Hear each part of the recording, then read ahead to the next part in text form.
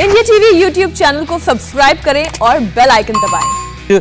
किन किन मुद्दों को आज इसमें शामिल करना चाहता है वो भी हम आपसे समझेंगे। अफ़गानिस्तान के हालात पर भारत सरकार काफ़ी वक्त से अलर्ट है। सीडीएस बिपिन रावत ने कहा है कि इसका अंदेशा पहले से था। बस फ़र्क यह है कि टाइमलाइन बदली है। जनरल बिपिन रावत ने कहा कि 20 साल पहले वाला तालिबान अफ़गानिस्तान में फिर से लौट आया है। All that I would say is everything that has happened was something that had been anticipated. Only the timelines have changed. So, as from the Indian perspective, we were anticipating a Taliban takeover of Afghanistan. We were concerned about how the terrorist activity from Afghanistan could overflow into India. And so, to that uh, extent, uh, our contingency planning had been ongoing, and we are prepared for that.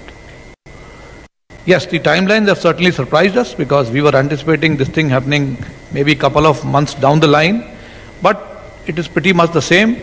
It is the same Taliban that was there 20 years ago. Uh, the news reports and reports from the expats who have come from there are all telling us the kind of activities that Taliban is into. All that has happened is that the partners have now changed. It's the same Taliban with different partners.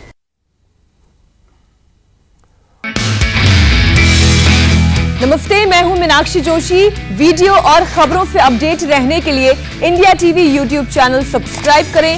Bell icon दबाना ना भूलें। जुड़े रहें India TV के साथ।